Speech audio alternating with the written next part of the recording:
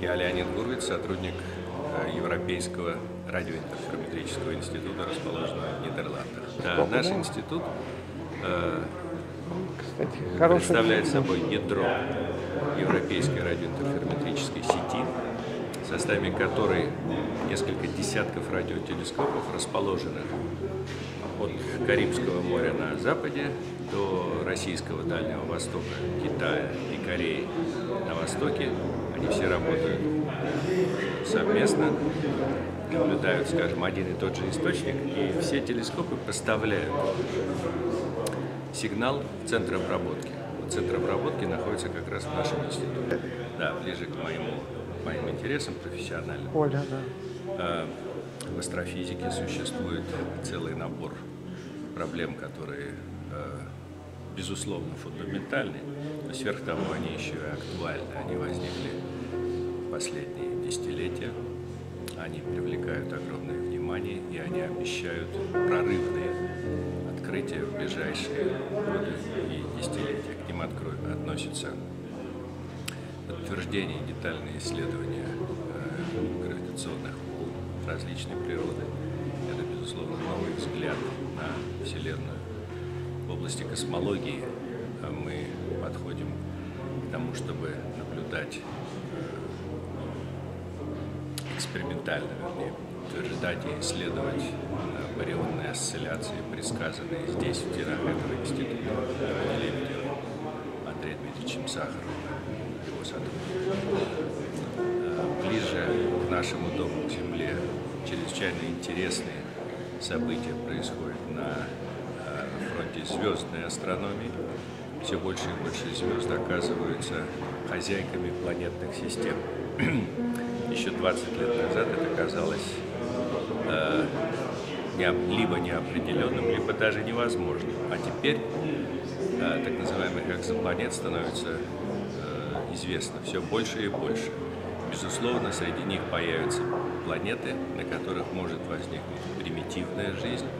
Ну а уж там дальше кто знает.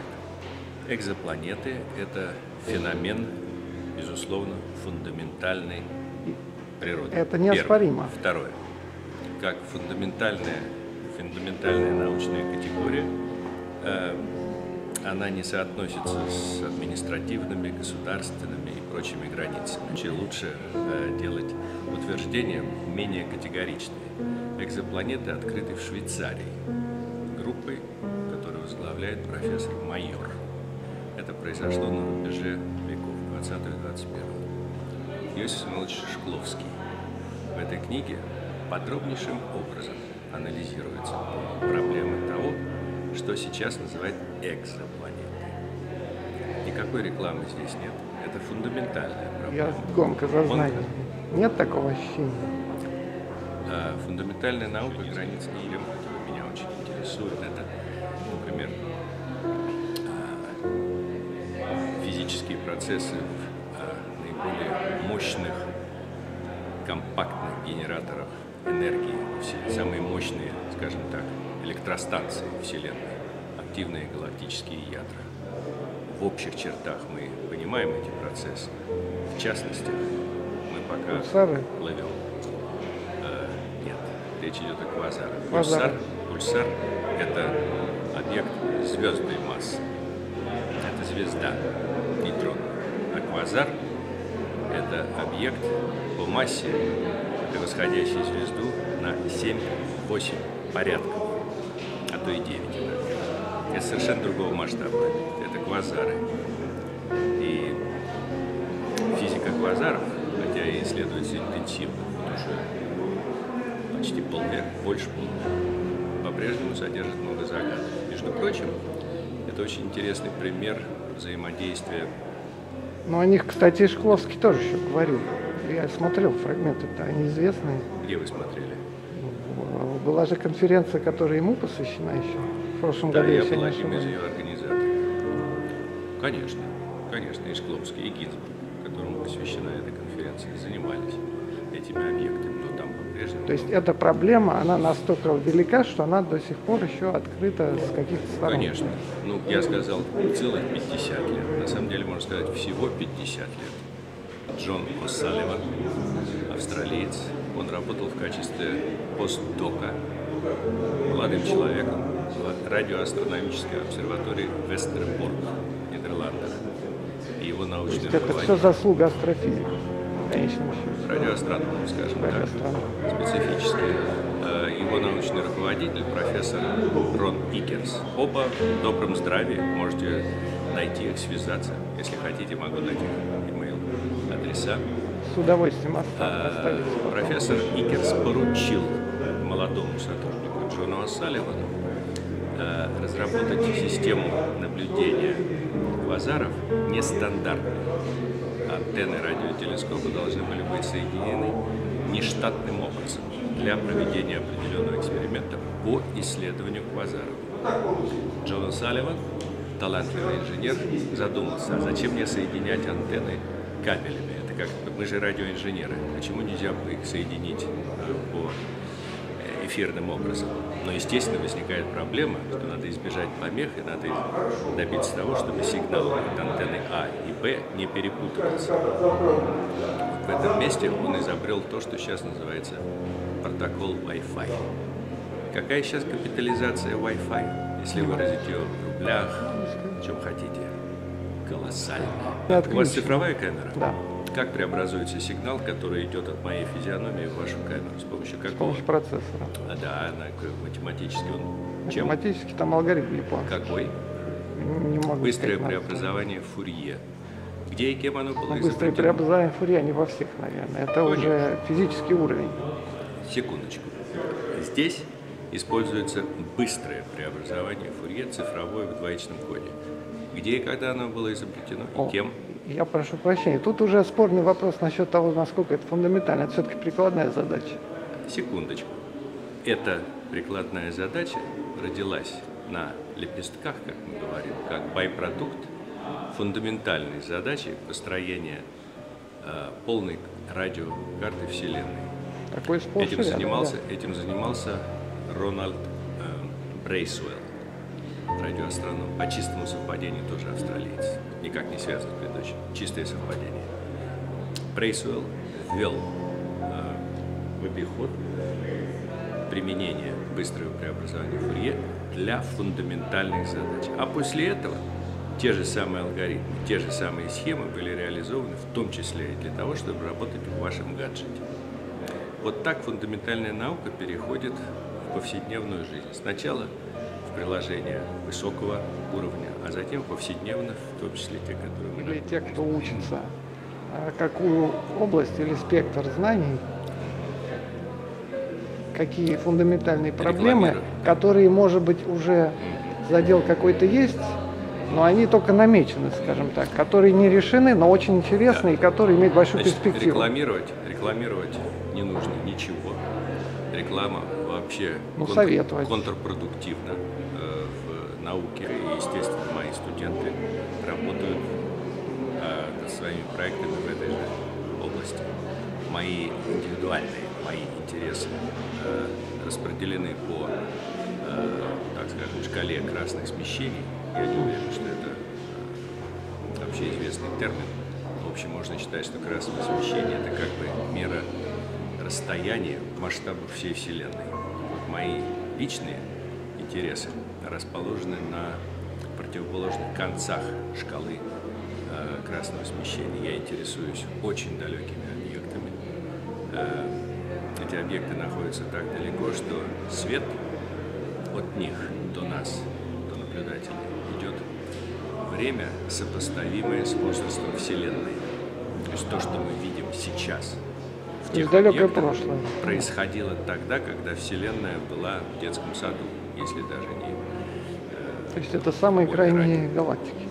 Да, это галактики и квазары на очень больших красных смещениях. Их исследование позволяет, с одной стороны, изучить их собственные свойства, а это те самые машины, э, чрезвычайно мощные э, генераторы энергии, самые мощные, какие есть в Вселенной. А кроме того, их изучение позволяет э, оценить, даже, можно сказать, измерить характеристики всей Вселенной в целом. Попросту говоря, если выражаться совершенно популярным языком, наши эксперименты позволяют взвесить всю Вселенную в целом. Просто вот как будто бы Вселенную целиком положить на вес. А, один раздел интересов. Другой находится по шкале красных смещений практически в нуле. Нашими методами можно исследовать э, планеты Солнечной системы или спутники планет. Наши методы позволяют с чрезвычайно высокой точностью определять небесные координаты или, строже выражаясь, состояние, вектор состояния космического аппарата, оборудованного радиопередатчиком. Переходя опять же на язык популярной лекции, я мог бы сказать, что нашими методами можно добиваться точности определения координат, а, которую, а, здесь я воспользуюсь вашим термином, рекламируют а, представители ЛАНАС, GPS, Галилео, всех, в общем, спутниковых систем, навигаторы которых стоят сейчас в автомобилях, например. Так вот, мы можем давать точность такую же, как эти системы, но не на Земле, а где угодно в Солнечной системе. И если мы э, измеряем вектор состояния космического аппарата с такой точностью, вблизи, допустим, э, спутника э, Юпитера, Ганимед, то мы можем изучить гравитационное поле Ганимеда с высочайшей точностью и таким образом ответить на вопрос, а есть у Ганимеда внутренние большие объемы жидкости, возможно, воды или нет. Если есть, то это будет один небольшой шаг в сторону э, обоснованного утверждения о том, что на Ганимеде, можно сказать, в Ганимеде есть условия для возникновения жизни. Это относится к нескольким спутникам планет-гигантов. В системе Юпитера это Ганимед, и даже в большей степени Европа, не путайте с частью света, это спутник, Галилеев спутник Юпитера. И в системе Сатурна это Титан, самый большой спутник, э, один из крупнейших спутников в Солнечной системе. Удивителен он тем, что обладает атмосферой по плотности превосходящей плотность атмосферы Земли. Давление атмосферное на поверхности Титана в полтора раза выше, чем атмосферное давление здесь, на Ленинском проспекте. Даже сегодня, когда такая непогода. Так вот, э, исследуя планеты и их спутники нашими методами, разработанными, между прочим, для дальней Вселенной, можно э, приблизиться к ответу на вопрос, уникальна ли жизнь во Вселенной. Я уже упоминал книгу Александровича Шкловского «Вселенная жизнь разума». Повторю еще раз, всем, кто будет смотреть это интервью, очень рекомендую прочесть эту книгу. Э, оригинальная книга была написана в 1962 году, но она обновлялась сначала самим автором, потом его учениками. Эта книга остается актуальной. Кроме того, там есть очень интересные философские взгляды на проблему жизни и цивилизации во Вселенной. Они в общем, не стареют, во всяком случае, не стареют на, на масштабе времени. Лень или задача сегодня какая могла бы быть, которая могла бы входить, э, ну, претендовать на любой курс, так, чтобы она была достойна, чтобы ее изучали, и в каждом говорите, учебнике она была. Вы, вы, вы э, затронули сегодня, сегодня а, что у нас такого есть? излучение, которое да. Называется еще микроволновым, микроволновым фоновым излучением Вселенной. Открытие было сделано в 1965 году американскими радиоастрономами Пензиасом и Уилсом. Так вот. Это отпечаток большого взрыва, который мы видим до сих пор. Что-то наравне такого же. Сегодня да. есть, что достойно такого же внимания. Это явление да. продолжает оставаться одним из наиболее а, внимательно изучаемых явлений Вселенной. После открытия Пензиаса и Уилсона как на Земле, так и в космосе проводились специальные а, сложные наблюдательные кампании для исследования микроволнового фона э, были запущены четыре космических аппарата. Один в Советском Союзе, первый. А вот детальное изучение продолжает оставаться актуальным. Фоновое излучение э, исследовалось и продолжает исследоваться на Земле. А, и четырьмя аппаратами. Реликт советский, а после этого американский КОБЕ, американский WMAP, Wilkinson MAP, и четвертый европейский аппарат Planck. Каждый следующий аппарат превосходил предыдущие по своим характеристикам. И э, на сегодняшний день в э, карте микроволнового фона Вселенной можно исследовать тонкие эффекты, тонкие структуры, неоднородности. На повестке дня стоит вопрос о получении подробной карты поляризации. Да, и это имеет прямое отношение к э, объяснению возникновения структуры Вселенной. Мы с вами, наши тела состоят из вещества, изначально произведенного звездами. Для того, чтобы возникли звезды... Вы имеете в виду барионные? Да, мы с вами барионные. Я точно а остальных. Я надеюсь, что я тоже. Ну хорошо, значит мы с вами в одном состоянии, в квантовом качестве. Так вот, э, исследование распределения микроволнового фона позволит э, понять процессы, приведшие к возникновению крупномасштабной структуры Вселенной, возникновение галактик и скоплений, это от галактик в сторону больших, говоря, размеров, и от галактик сторону меньших, это звезды, и дальше планеты и так далее. Микроволновой фон имеет самое прямое отношение – и тот факт, что его открыли целых 50 лет назад, еще не значит, что мы все про него. Ну, вот вы спросили, что как появилась возможность исследования гравитационных волн экспериментально. А, Гравитационные волны уже их же, ну, мы считаем, что их доказали. В прошлом году уже это опубликованный факт? Но это Или примерно, это не да, всеми признанный да, факт? Нет, нет, дело не в признании.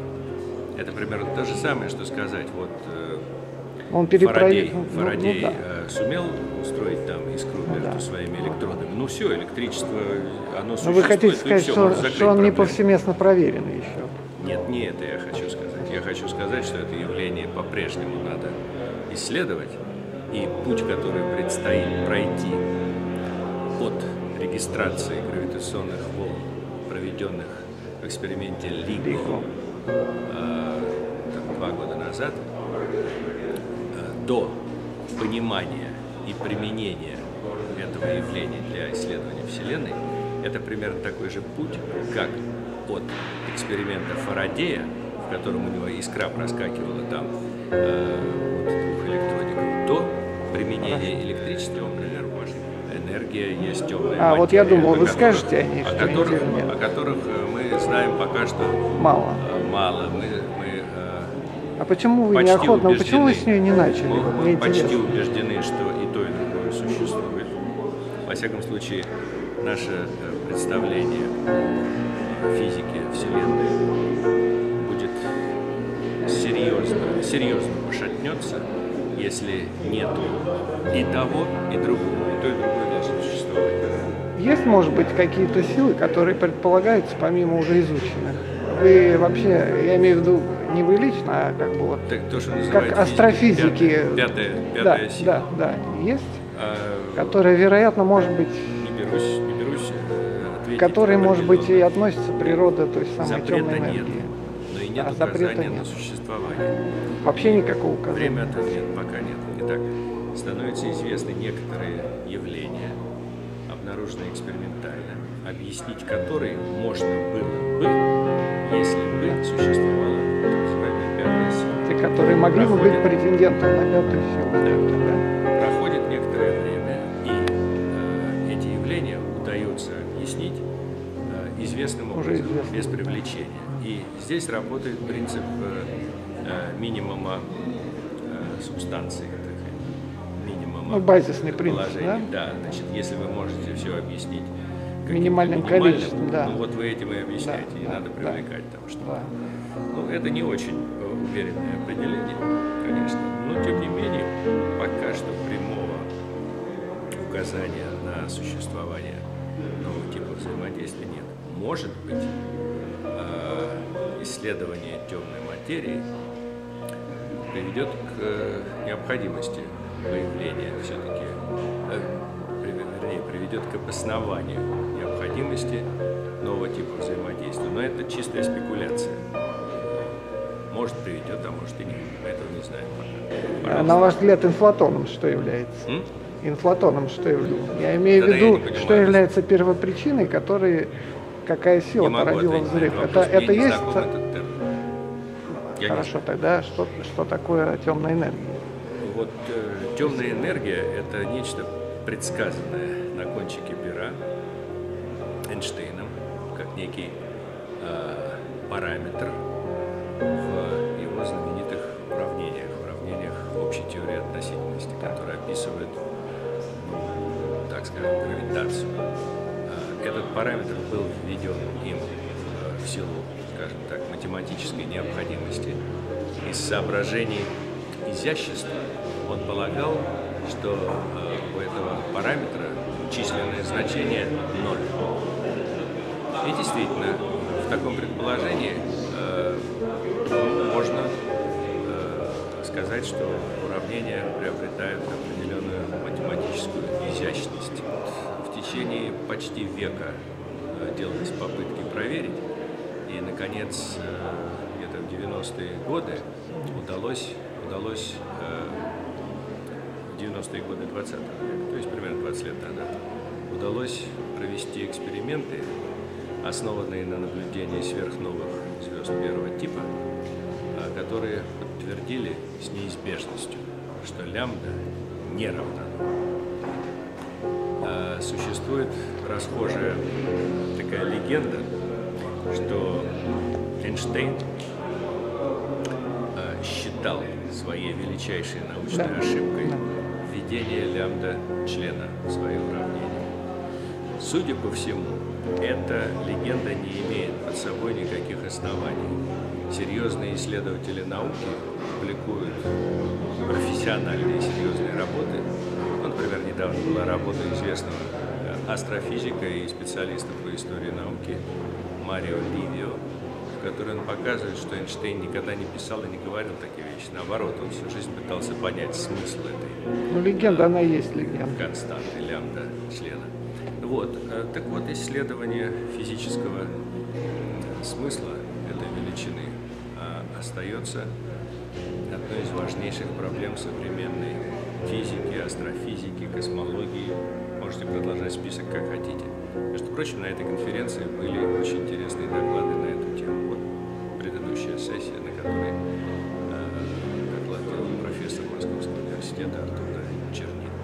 Очень интересный доклад именно на эту тему. Это то, что называется лямбда-член, а по-другому это называют темная энергия. Не путать с темной материей. Темная материя – это нечто другое. То есть темной материи тоже очень много. В принципе, темная материя, ну, она как бы проще, чем темная энергия. В том смысле, что она проявляет себя э, физически более понятным нам способом. Она проявляет себя как гравитирующая масса. То есть мы ее косвенно можем померить? Что да вот хотелось бы прямо, а не косвенно. Косвенно она измеряется, наблюдается уже давно. А, Все началось с оптической астрономии, а затем наблюдается и в радио, и в рентгене. А, Темная материя а, приводит к тому, что звезды, находящиеся в периферийных областях галактик, движутся под воздействием гравитационного потенциала, который невозможно создать видимыми нами известными объектами галактики. Причем это э, пояснение, оно носит абсолютно э, неоспоримый характер. Э, это утверждение э, столь же верно, сколь верна теорема Пифагора в плоском пространстве. Вот тут вот буквально так. А что является носителем темной, э, массы темной материи, мы не знаем. Самое простое объяснение – в галактике на, на, накиданы кирпичи, просто обычные кирпичи, строительные, мусор. Это холодное вещество, оно не излучает достаточно яркого, ну, скажем, света или другого излучения, чтобы быть зарегистрированным, а гравитация работает. Но трудно представить себе, что же это за такое вещество. А все известные нам субстанции, а, материя, из которой состоят звезды, межзвездная среда, частицы, которых очень много, элементарные частицы,